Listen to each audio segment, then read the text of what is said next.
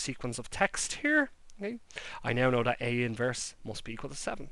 So let me write them values down again. So what we have now is we have M is equal to 26, the size of our alphabet. We previously chose A to be 15 in the encryption cycle. We chose B to be 7 in the encryption cycle. And we've just calculated that A inverse is equal to 7. So actually the values we're going to use in the decryption phase are M, B, and A inverse. Because we know from our formula that the plain text is equal to A inverse times the ciphertext minus B modulo modulo M.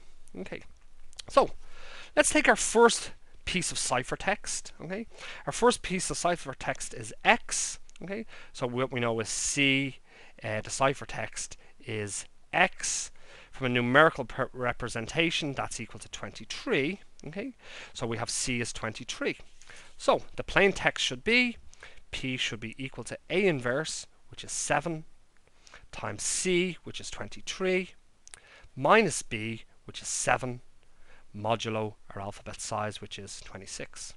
Okay, so let's have a look at this. Inside the brackets, we have 23 minus 7 gives us a value of 16. And when we multiply that by 7, that gives us a value of 112. So we have the plain text must be equal to 112 modulo 26. Okay, well, how many times does 26 go into 112? Well, it's 112 divided by 26 goes in approximately 4 times. So what we know is that 112 must be equal to 26 times 4 plus some remainder. Okay, what's the remainder? Well, 26 times 4 gives a value of 104. So we have 112 must be equal to 104 plus a remainder. I think clearly you can actually see in this particular case that the remainder must be equal to 8. Yeah. So we have 112 is equal to 104 plus 8.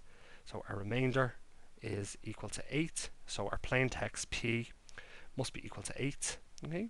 And when we look 8 back up on our on our I suppose our encoding or in, in relation to uh, how we encode our, our, our, characters, we have the the character with, represented by the number 8 okay, is the character i.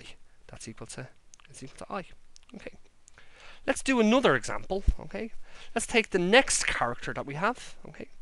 So the next character that we have is is h, which is represented as a 7. Okay.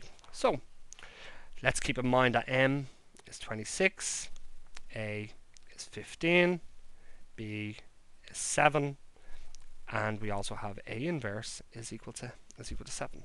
So when the ciphertext is a h, which is equal to 7, okay, the decryption, the plain text, okay, well the plain text is got from the formula p is equal to a inverse times the ciphertext minus b modulo m. So our plain text must be, well the plain text must be equal to a inverse, which is 7, times the ciphertext, which is 7, minus the b value, which is 7, modulo 26. What does that give us? Well, that gives us 7 times 0 modulo 26, which is 0 modulo 26. Okay, so when I divide 26 into 0, what's left over? What's the remainder? Well, 26 into 0 goes 0 times with a remainder of 0, so p must be equal to p must be equal to 0. Once again, when I look this value up on my on my encodings, z uh, 0 is an a, so what we know is that the plain text is is equal to is equal to a. Okay. Uh, let's do one more example of the decoding. Okay. Uh, so let's just take let's this time take our f okay as our ciphertext and let's see do we get m back as our plain text. Okay. So we're taking f so the ciphertext that we're going to take is c is equal to f and that has a numerical encoding f of a 5 okay so our plain text must be equal to A inverse, which is 7, times our ciphertext, which is 5, minus our B value, which is 7, modulo 26. Okay. What's that give us?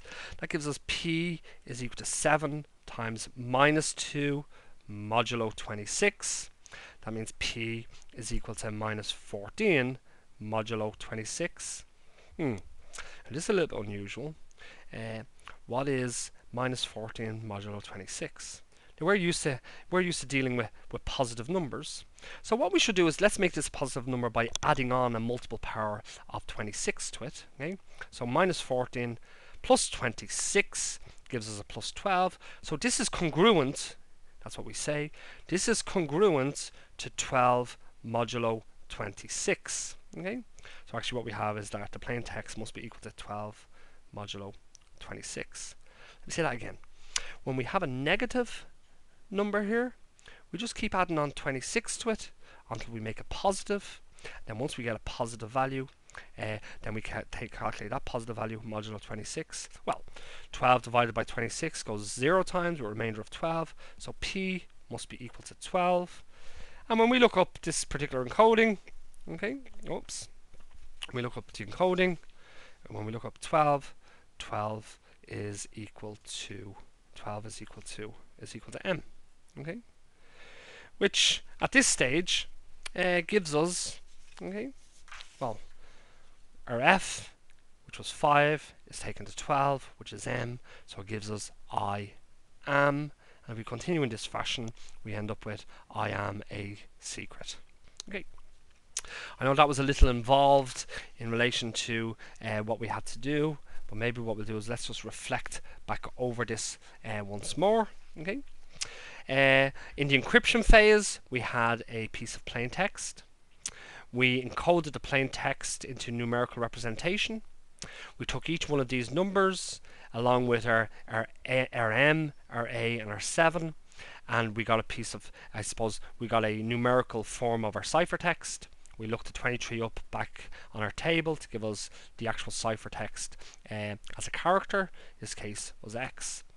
The reverse of the cycle is that we take our X's, okay, which is 23, okay. Uh, we need to know what our B values are and our M values. We have them from our previous cycle. Uh, the ciphertext values are are in this direction.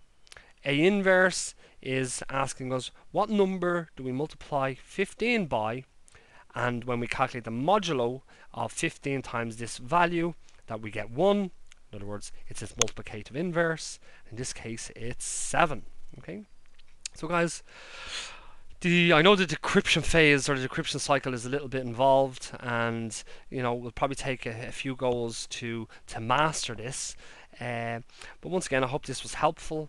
Uh, my name was Jonathan Lambert with the Mathematics Development and Support Service at the National College of Ireland.